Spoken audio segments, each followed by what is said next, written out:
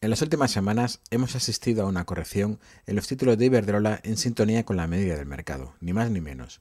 De hecho, desde los máximos anuales ha corregido cerca del 8%. Técnicamente no hay nada que objetar a la tendencia alcista, pues lo único que hemos visto ha sido una corrección dentro de las muchas que se producen después de un fuerte tramo alza. Les recuerdo una vez más aquello de que los mercados se mueven en dientes de sierra o lo de que para seguir subiendo es necesario corregir para tomar impulso. En el más corto plazo lo que tenemos es una impecable directriz alcista que en el momento actual pasa por el entorno de los aproximadamente 4,35 euros. Me cuesta creer que la eléctrica vaya a perforar dicha zona de soporte teniendo en cuenta el cambio a mejor que se produjo la semana pasada en el mercado en general.